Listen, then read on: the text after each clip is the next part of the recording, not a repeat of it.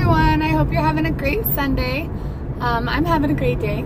Today is officially one month since I've had a cigarette, so that's a big deal for me. Um, there was a lot of times I used the excuse of I live with people that smoke or I work somewhere where everybody smokes and lots of excuses of why I didn't quit. Um, I wanted to sing again, which I had quit singing because I had started smoking again and I always had an excuse of why not.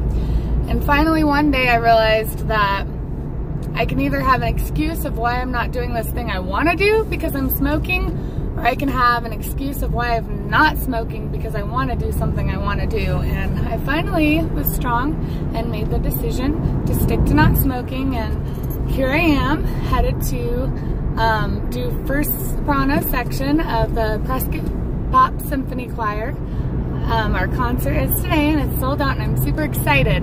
And if I wouldn't have finally made that step to just quit smoking and stop making up excuses of why I couldn't quit, I wouldn't be doing that today. So um, I live with a bunch of smokers and it's been a little bit hard, but you know what, when you really want something, it's up to you to make the choice to do something about it, you know, it's not anybody else's choice. You can't tell somebody, oh, you know, I want this, you gotta do it with me for support or whatever when it comes down to everything's what you want to do for yourself. Like you make your decisions.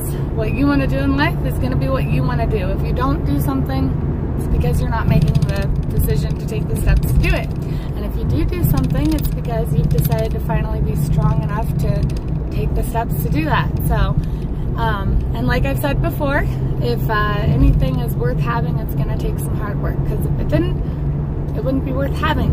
You know, there's got to be the gratitude of all the effort you put into something to finally get it, or else what's the point, you know?